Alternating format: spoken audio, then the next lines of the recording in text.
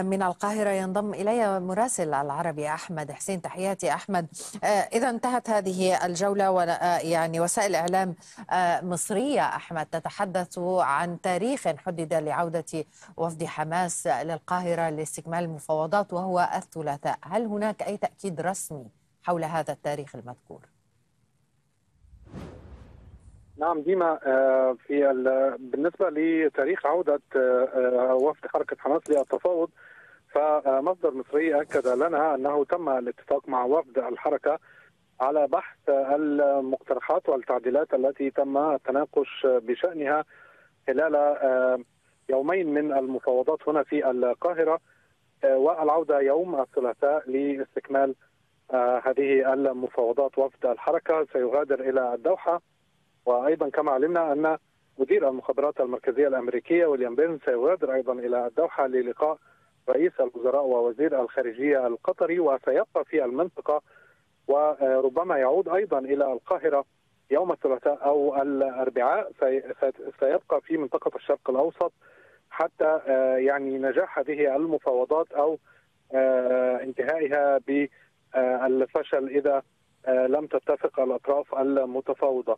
علمنا أيضا بما من مصادر مصرية بأن النقطة الأساسية في ملف المفاوضات والتي لا تزال عالقة هي الضمانات التي تؤكد وتصر وتطلبها حركة حماس وهي مسألة وقف العدوان الإسرائيلي على قطاع غزة وهو ما ظهر حتى مبكرا قبل مغادرة وفد الحركة من خلال البيان الذي صدر من مكتب رئيس المكتب السياسي للحركة السيد إسماعيل هنية.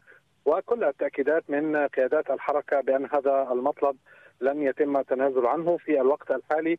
الضمانات أو الأطروحات التي يجري التفاوض بشأنها هي تقديم ضمانات أمريكية للمفاوضين وأيضا لحركة حماس بفترة محددة من وقف العدوان.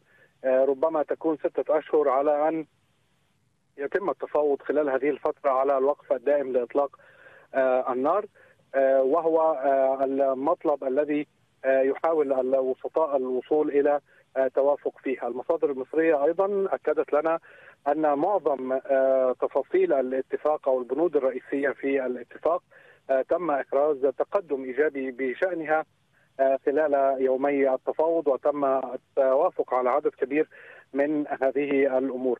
هناك أيضا نقطة عالقة علمنا بشأنها هي مسألة أن أو مستجد جديد دخل على الساحة. هو ضمانات طلبت حركة حماس أن تقدم إليها بتعهد أو ضمان عدم الاجتياح الإسرائيلي لمدينة رفح بعد انتهاء جولات التفاوض أو بعد مراحل الاتفاق. وهي نقطة أخرى سيجري الحديث بشأنها خلال الأيام القادمة. المفاوضون المصريون يضغطون بقوة على الأطراف لإنجاح هذه الجولة من التفاوض. مصر تعتقد أن هذه الجولة من التفاوض ربما تكون الطريقة الأخيرة أو الفرصة الأخيرة لمنع الاجتياح الإسرائيلي لرفح وهو ما سيحدث أزمة أخرى بين سواء على المستوى السياسي والدبلوماسي وحتى على المستوى الأمني مع مصر نظرا للتبعات والتداعيات التي ستنجم عن هذا الاجتياح والتي ترفضها مصر منذ البداية. على كل هذه الجولة من المفاوضات وطالت واستمرت عبر جولات متعددة خلال الشهور الماضية إلا أن المفاوضين المصريين كما علمنا من مصادرنا يبقون على أمالهم بنجاح هذه الفرصة من التفاوض وإتمام الاتفاق بمراحله بشكل عام. شكرا جزيلا على كل هذه المعلومات عبر الهاتف من القاهرة مراسل العربي أحمد حسين.